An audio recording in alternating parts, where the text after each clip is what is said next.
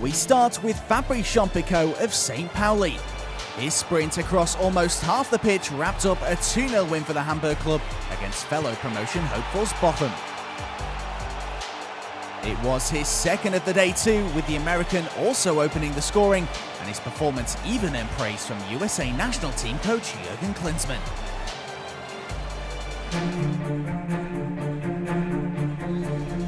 Jonas Meffert shows a real nose for goal to grab Karlsruhe's equaliser in their meeting with Nuremberg.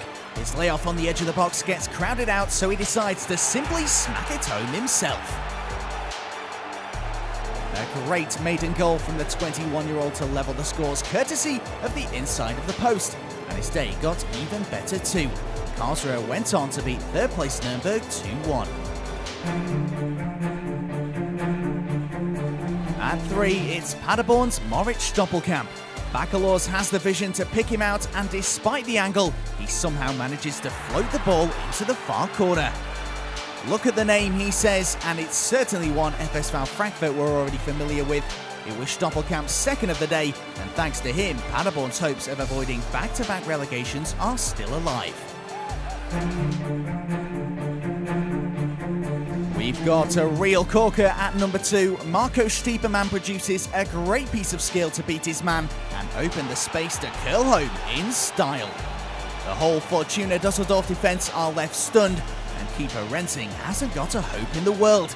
A moment of magic to earn him his fifth goal of the season, and because it was probably the 25 year old's best of his career to date, his Greuther teammates figured it deserved a special celebration. Our number one goal comes from all of 25 metres out. The best strike of matchday 30 in Bundesliga 2, a thunderbolt from Michael Liendl. What a hit from the Austrian for his fourth goal of the campaign, but as beautiful as it was, it wasn't enough to earn 1860 victory against Duisburg and means the Munich club are on the brink of relegation to the third tier. Goodness.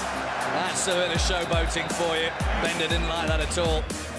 Lewandowski goes through it again. Oh, he just can't do it. You just cannot be that good. But we're very happy, we're very pleased because we get these three points.